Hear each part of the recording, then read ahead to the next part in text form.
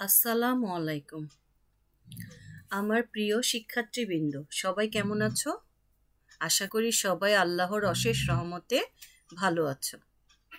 আজকে দশম শ্রেণির শিক্ষার্থীদের তথ্য ও যোগাযোগ প্রযুক্তির অনলাইন ক্লাসে স্বাগতম।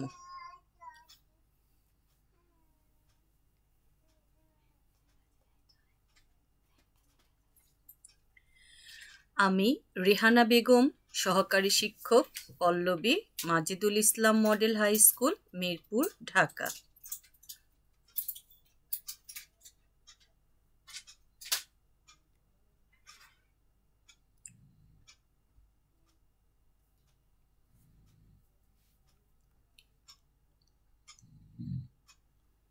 আমাদের আজকের পাঠ।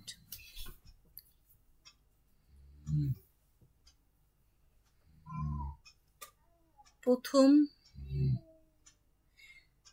প্রথম পাঠটা আমরা পড়ব প্রথম অধ্যায়ের তথ্য ও যোগাযোগ প্রযুক্তি এবং আমাদের বাংলাদেশ।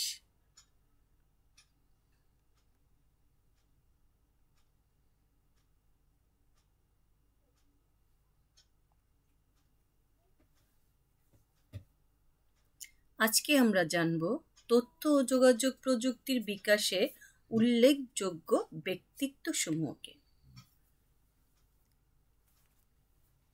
তোমাদের পাঠ্য বইয়ের দুই, তিন পেজ থেকে দুই, তিন, চার, পাঁচ পাঁচ পেজ পর্যন্ত আমাদের যে উল্লেখযোগ্য ব্যক্তিত্বরা রয়েছেন, তাদের সম্পর্কে সুন্দরভাবে বর্ণনা দেওয়া রয়েছে। আমরা এগুলা পূর্বের ক্লাসগুলোতে সুন্দরভাবে পড়েছি। যেহেতু এগুলো আমাদের রিভিশন চলছে, তাই আবার আমি তোমাদের প্রথম অধ্যায়ের থেকে আমি তোমাদের শুরু করলাম। তথ্য ও যোগাযোগ প্রযুক্তির আজকের বিকাশের পেছনে রয়েছে অনেক বিজ্ঞানী মিশনারি প্রকৌশলী এবং নির্মাতাদের অবদান। তার এবং তারহীন যোগাযোগ ব্যবস্থা, কম্পিউটারের গণনা, ক্ষমতা বৃদ্ধি এবং মাইক্রো ইলেকট্রনিক্সের বিকাশ বর্তমানে আইসিটিকে হাতের মুঠে নিয়ে এসেছে। তাহলে এখানে একটা আমরা প্রশ্ন পেয়ে গেছি, বর্তমানে আইসিটিকে হাতের মুঠে নিয়ে এসেছে কি? তাহলে আমরা কি? মাইক্রো ইলেকট্রনিক্সের বিকাশ।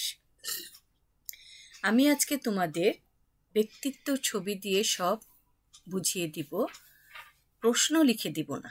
তোমরা নিজেরা আমার লেকচার শুনে তোমরা প্রশ্নগুলো নিজেরা তৈরি করবে। এগুলো তোমরা আগেও করেছ, এখনও করবে। নিজেরা প্রশ্নগুলো সুন্দর করে খাতায় তৈরি করে ফেলবে।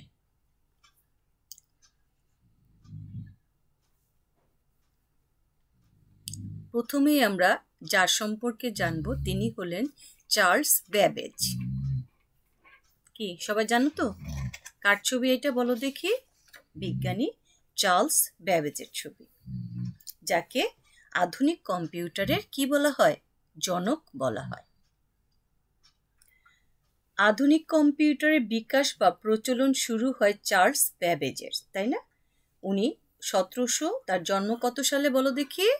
সতেরোশো একানব্বই সালে। আর তিনি মৃত্যুবরণ করেছেন আঠারোশো একাত্তর সালে।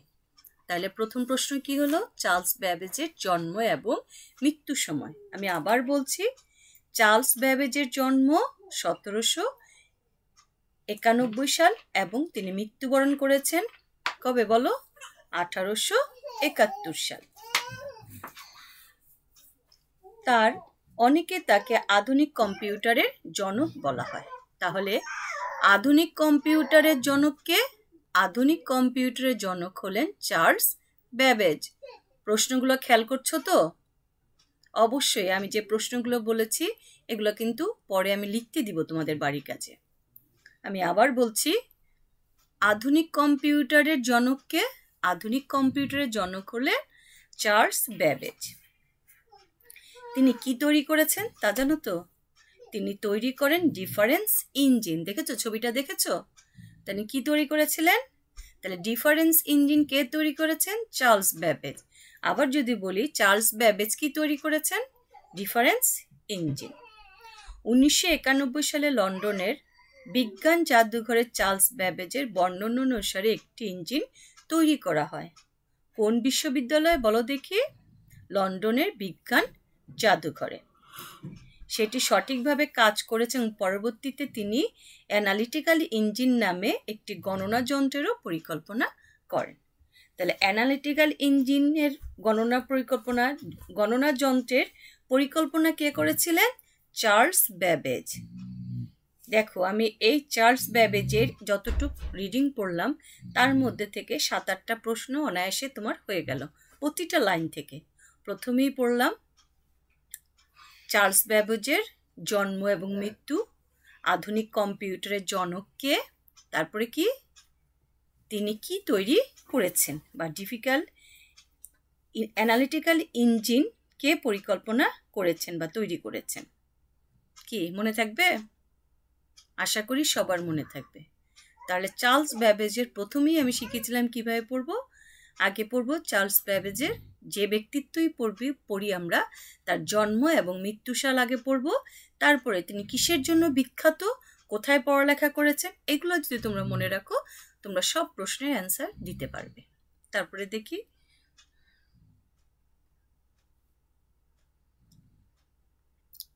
Ada Lovelace. কি নাম বলো দেখি? Ada Lovelace. অ্যাডা লাভলেসের জন্ম কত সালে বলতে পারো? হ্যাঁ আঠারোশো পনেরো সালে এবং তার মৃত্যুবরণ, তিনি মৃত্যুবরণ করেছেন আঠারোশো বাহান্ন সালে। আমি আবার বলছি আডা লাভলেসের জন্ম এবং মৃত্যু বলো দেখি। তার জন্ম আঠারোশো পনেরো সালে এবং তিনি মৃত্যুবরণ করেছেন আঠারোশো বাহান্ন সালে। মায়ের কারণে অ্যাডা ছোটবেলা থেকেই বিজ্ঞান ও গণিতে আগ্রহী হয়ে ওঠেন। কার কারণে? মায়ের কারণে। প্রশ্নগুলা খেয়াল করবে। আঠারোশো তেত্রিশ সালে চার্লস ব্যাবেজের সঙ্গে তার পরিচয় হলে তিনি ব্যাবেজের অ্যানালিটিক্যাল ইঞ্জিনকে কাজে লাগানোর জন্য প্রোগ্রামিংয়ের ধারণা সামনে নিয়ে আসেন। এই কারণে আডা লাভলেসকে প্রোগ্রামিং ধারণার প্রবর্তক হিসেবে সম্মানিত করা হয়। তাহলে আমরা প্রোগ্রামিংয়ের ধারণার প্রবর্তককে আডা লাভলেস আঠারোশো বিয়াল্লিশ সালে ব্যাবেজ তুরিন বিশ্ববিদ্যালয়ে তার ইঞ্জিন সম্পর্কে বক্তব্য দেন। কোন বিশ্ববিদ্যালয়ে? তুরিন বিশ্ববিদ্যালয়। ছবিগুলো দেখো।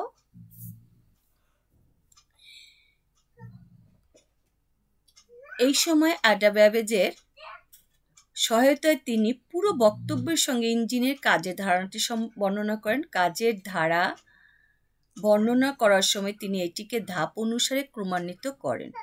আডার মৃত্যুর মৃত্যুর একশো বছর পর উনিশশো তিপ্পান্ন সালে সেই নোট আবারও প্রকাশিত হলে বিজ্ঞানীরা বুঝতে পারেন অ্যাডা লাভলেসি আলগোরিদম প্রোগ্রামিংয়ের ধারণাটা আসলে প্রকাশ করেছিলেন তাহলে অ্যাডা লাভলেস প্রোগ্রামিং কোন প্রোগ্রামিং? বলো দেখি।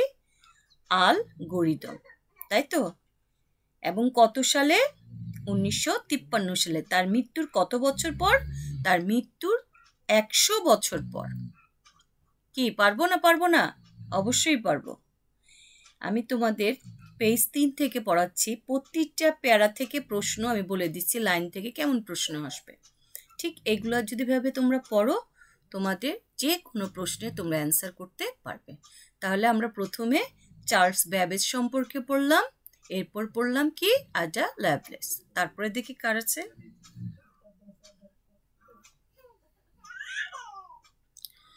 জেমস ক্লার্ক মার্কস ওয়েল বলো দেখি কি? জেমস ক্লার্ক মার্কস ওয়েল সম্পর্কে আমরা এখন জানব। ছবিটা দেখেই চিনতে পারছ উনি কে? ব্যাবেজ আর অ্যাডার এই কার্যক্রমের পাশাপাশি সেই সময় পদার্থ বিজ্ঞানের গুরুত্বপূর্ণ অগ্রতি, অগ্রগতি সাধিত হয়। বিজ্ঞানী জেমস ক্ল্যাক মার্কসওয়েল আঠারোশো একত্রিশ সালে জন্মগ্রহণ করেন এবং আঠারোশো উনাশি সালে তিনি মৃত্যুবরণ করেন। তাহলে জেমস ক্লার্ক মার্কসওয়েলের জন্ম আঠারোশো একত্রিশ সাল আর তিনি মৃত্যুবরণ করেন কবে? আঠারোশো উনাশি সালে। তড়িৎ চৌম্বকীয় বলের ধারণা প্রকাশ করেন। তাহলে তড়িৎ চৌম্বকীয় বলের ধারণা প্রকাশ করেন কে? বলো এবার। James Clerk Maxwell. James Clerk Maxwell তড়িৎ চুম্বকীয় বলের ধারণা প্রকাশ করেন, যা বিনা তারে বার্তা প্রেরণের একটি সম্ভাবনাকে তুলে ধরা হয়। বিনা তারে এক স্থান থেকে অন্য স্থানে বার্তা প্রেরণে প্রথম সফল হন বাঙালি বিজ্ঞানী জগদীশ চন্দ্র বসু। কে? জগদীশ চন্দ্র বসু। তিনি কোথাকার বিজ্ঞানী? কোন বাঙালি বিজ্ঞানী? তার জন্ম আঠারোশো আটান্ন সালে এবং তিনি মৃত্যুবরণ করেন উনিশশো সালে। আঠারোশো পঁচানব্বই সালে জগদীশ চন্দ্র বসু অতি ক্ষুদ্র তরঙ্গ ব্যবহার করে এক স্থান থেকে অন্য স্থানে তথ্য প্রেরণের সফল হন। কিন্তু তার আবিষ্কার প্রকাশিত না হওয়া সর্বজন স্বীকৃত পায়নি। প্রথম প্রকাশিত হওয়া সর্বজনীন স্বীকৃতি পান ইতালি বিজ্ঞানী গুলিয়েমো মার্কোনি। নামটা কি বলো দেখি? গুলিয়েমো মার্কোনি। তার জন্ম আঠারোশো চুয়াত্তর সালে এবং তিনি মৃত্যুবরণ করেন উনিশশো সাঁইত্রিশ সালে। IBM company mainframe computer তৈরি করেন। তা মেইন ফ্রেম কম্পিউটার কে তৈরি করেন? IBM company.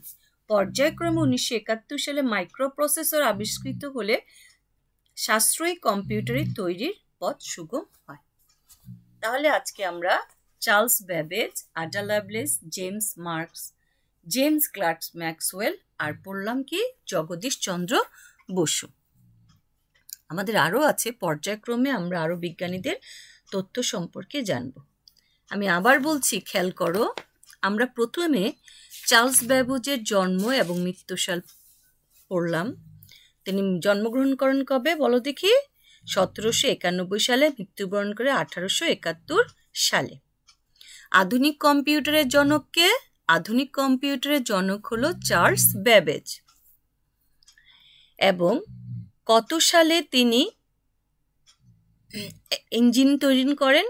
উনিশশো একানব্বই সালে লন্ডনের বিজ্ঞান জাদুঘরে চার্লস ব্যাবেজের বর্ণনা অনুসারে একটি ইঞ্জিন তৈরি করা হয়। ইঞ্জিনটির নাম কি ছিল? Analytical engine. তো অ্যানালিটিক্যাল ইঞ্জিন কে কে করেন? Charles Babbage. অ্যাডালাবলিসের জন্ম এবং মৃত্যু? অ্যাডালাবসের জন্ম হলো আঠেরোশো পনেরো সালে আর মৃত্যু হলো কত? আঠেরোশো বাহান্ন সালে। প্রোগ্রামিংয়ের ধারণার প্রবর্তককে প্রোগ্রামিং ধারণার প্রবর্তক হলো আডা লাভলেস কত সালে তিনি তিনি তুরিন বিশ্ববিদ্যালয়ে তার ইঞ্জিন সম্পর্কে বক্তব্য দেন?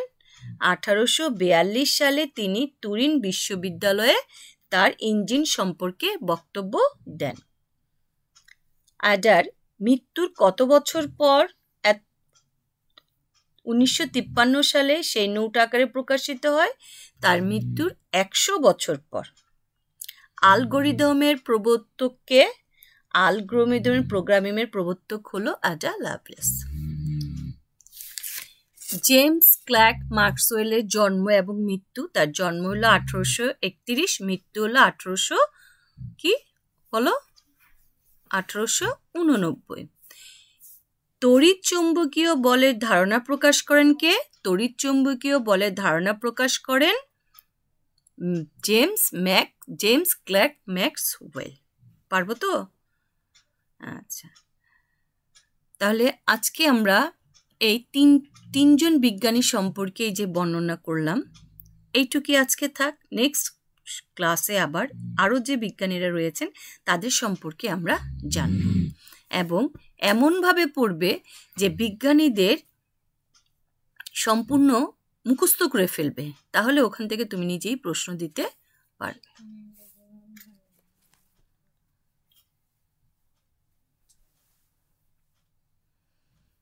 তাহলে আজকে আমাদের বাড়ির কাজ, বিজ্ঞানী চার্লস ব্যাবেজ অ্যাডালাভলেস ও বিজ্ঞানী জেমস ক্লার্কস ম্যাক্সওয়েলের জীবনী থেকে তিরিশটি প্রশ্ন তৈরি করবে।